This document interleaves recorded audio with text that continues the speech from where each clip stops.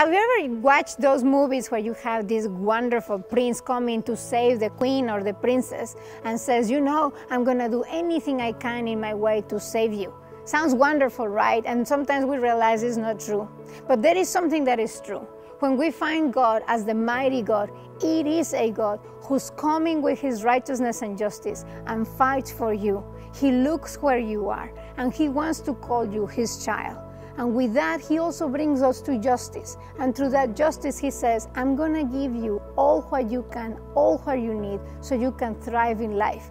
And you can get rid of those things that distract you, but empower you in the things where He is going to show you His love. So during this time of Advent, during this time of waiting, wait in that mighty God who's coming, who fights those battles for you, and who brings us to justice, to a place of love and hope. Have a nice day.